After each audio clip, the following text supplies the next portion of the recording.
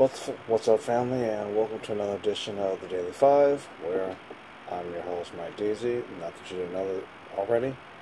And as usual, I'm giving you five happenings within the world of politics and world situations. Let's begin.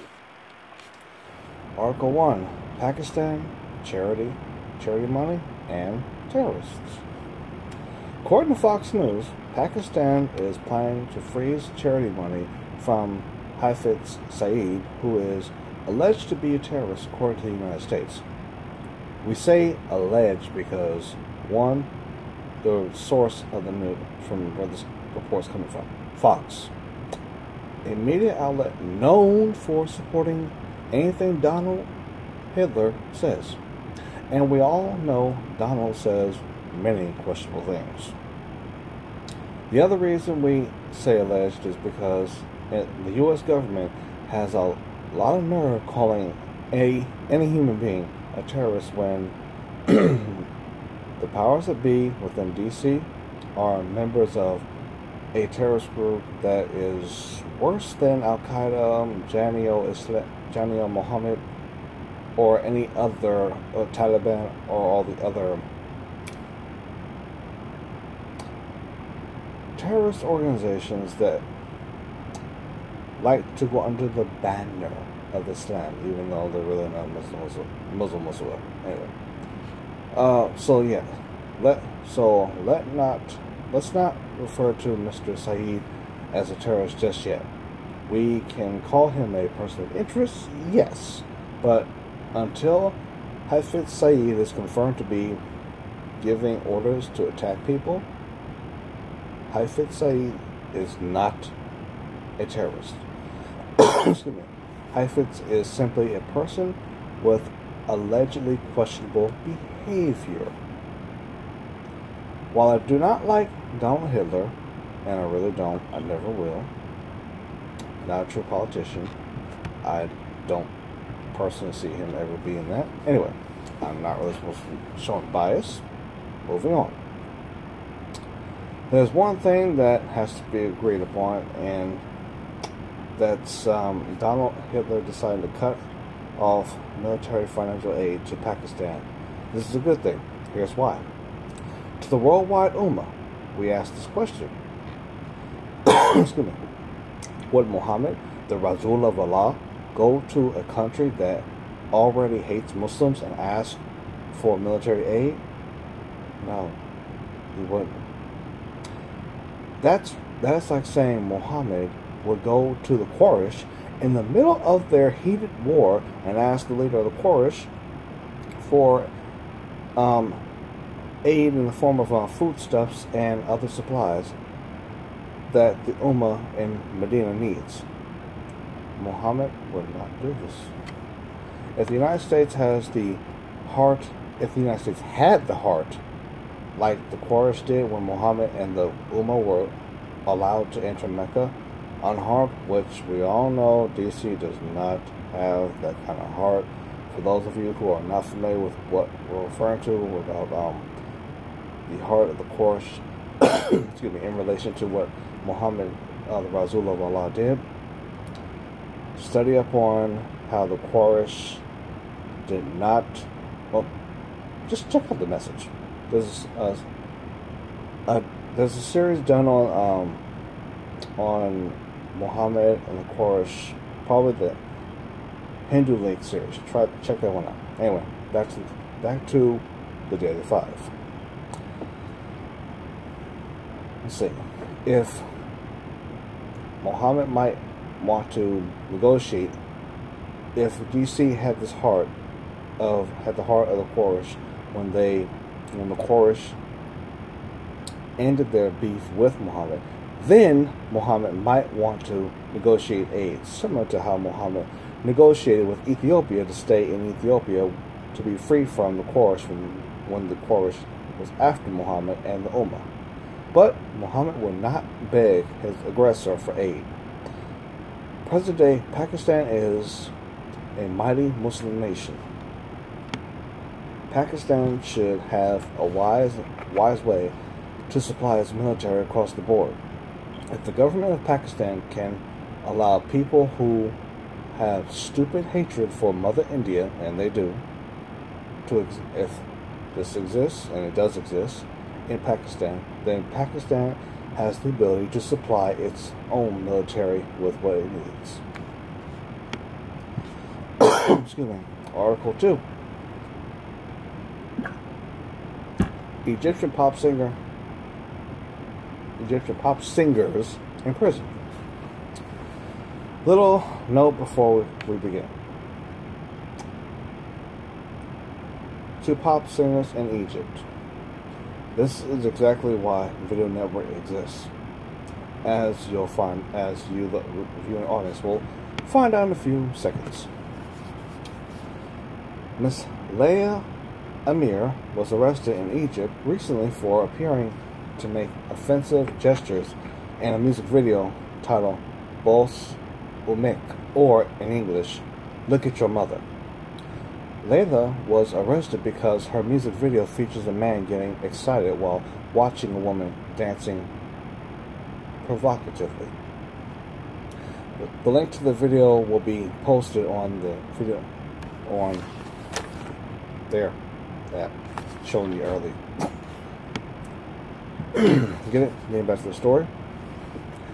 If one were to watch the music video, even without translation in English, it is clear to clear that Layla is playing the part of a dancer who wants to who wants the guy who is watching Layla, the dancer, in a fashion a man watches a stripper in the United States. Layla wants this man to think about his mother instead of instead of looking at this dancer in such an excited way. Think about how your view of women is generally. Think about women in a more dignified way. A, pos- a possible reason Layla started off the video with an erotic dance dancer was to make a point about how women see men, particularly women of Egypt see men. Perhaps because the men within Egyptian government did not like being positively ide- identified by women via Layla's uh, video as humans. The men were shown as humans that only see women as objects. The men, the, because the men were only were shown to only see women in Egypt as objects. The men in government felt Miss Amir's musical expression was strangely worthy of an of attack, or that she was attacking the government men of Egypt via her song. Being that Egypt is a Muslim country, why is not Layla's song, why is not Layla looked at as Muhammad Rasul would look, would look at her?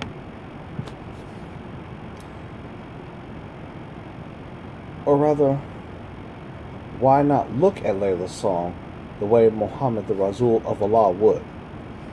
The Rasul would not only look at the imagery of the song, but also listen to what Layla is saying. Muhammad would ask Allah, Oh Allah, are Layla's words disgusting to you? Not are Layla's words disgust are, are Layla's words ugly to me, Muhammad as a man? No, I'm not trying to suggest that I might be in Muhammad. I was given a display. For those of you who would think that I'm trying to call myself that, it's called an example for a reason. Anyway,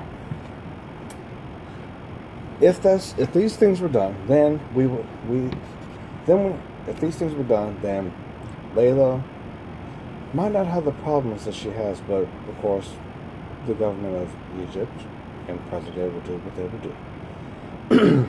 Next person in this same story, we have Shema Ahmed, or Ahmed's rather, who is who the Egyptian police have also arrested for the same questionable offense as they arrested Miss Amir.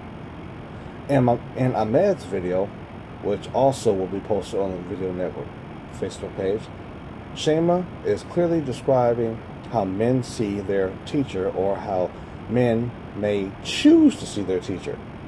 Ahmed is not suggesting what she wants to do to men or what a teacher wants to do to men. Rather, it's the reverse.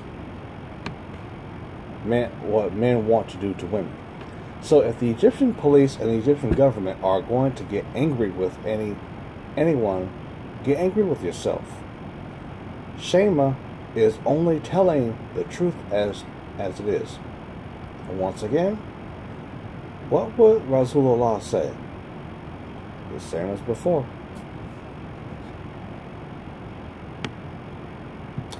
The same as before being, Oh Allah, what do you think of this display, this musical expression? Not what do I, the man, think of the expression. Number three, an activist for state assembly. Transgender activist Ashley Preston, or Preston, excuse me, is planning to run for California State Assembly to replace Sebastian Riley Thomas, who has recently resigned. Ms. Preston feels that she is a good fit for the California for California's District 54, which serves Greater Los Angeles, the Greater Los Angeles area, because of her because of her years of service working with the common people or the people of Southern California. She who are who are often seen as irrelevant and just numbers to the rich. Ashley knows she has the answers that can solve the problems that plague District 54, which she intends to put into place once she's once she joins the assembly. So, Miss Ashley, from us, the Video Network, to you, we're speaking into your future. We're speaking present tense of you being in the district's 54 district 54 seat because we at Video Network are speaking to again we're speaking to your future and have already given you our full support. By the way, we agree with you on uh, what you said about Caitlyn Jenner. More on that later.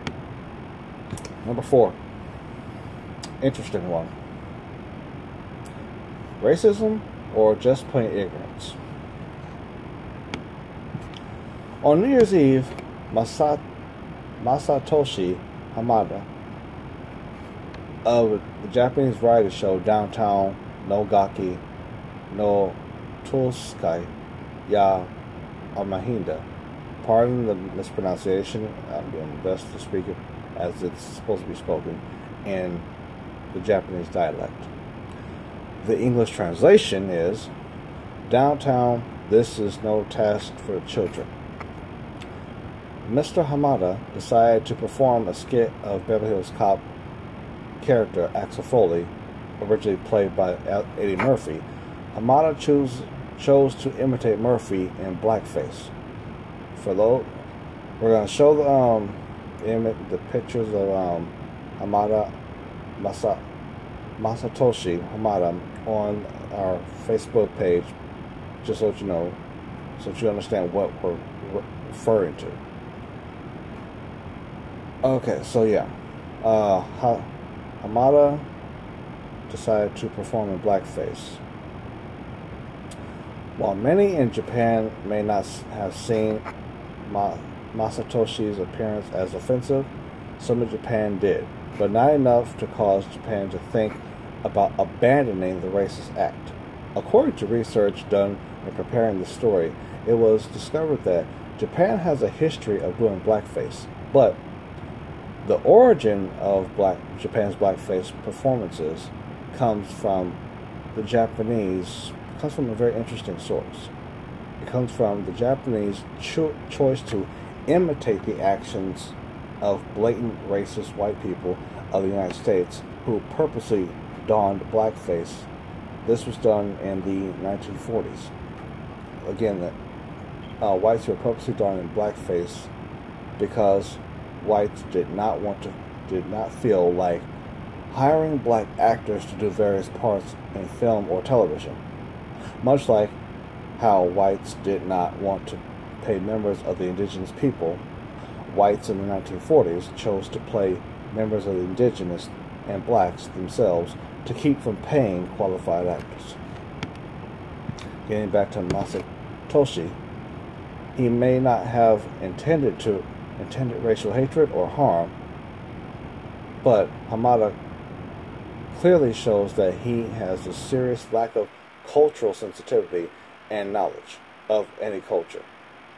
We question if Mr. Hamada would take offense if someone black purposely imitated something offensive to Japanese cultural history. Number five. Bannon sings his own version of Lift Every Voice. Donald Hitler is at it again. Donald is claiming that Steve Bannon broke his agreement with Hitler to keep his to keep Bannon's mouth shut after Donald heard about Michael Wolff's new book, Fire and Fury. Yes, we just plugged your book, Michael. In the press release for Fire and Fury, Bannon is quoted as having addressed Donald Hitler's ties to Russia, ties that all of us in the grassroots community already know are true. In his rage of being exposed for the person he is, Donald went and went to his paid media to accuse Steve of breaking Steve's silence with which uh, Steve did not do.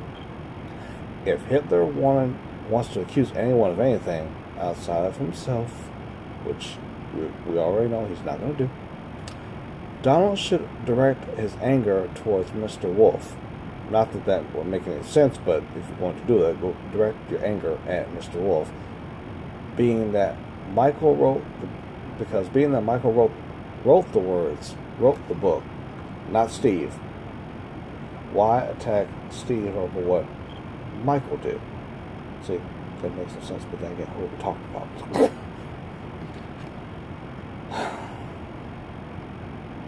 Again, it would make much more sense for Donald to really investigate and it would make much more sense for Donald to really investigate anything to find facts when we all know Donald is king and author of non-facts or as he has coined coined it alternative facts or alternative news.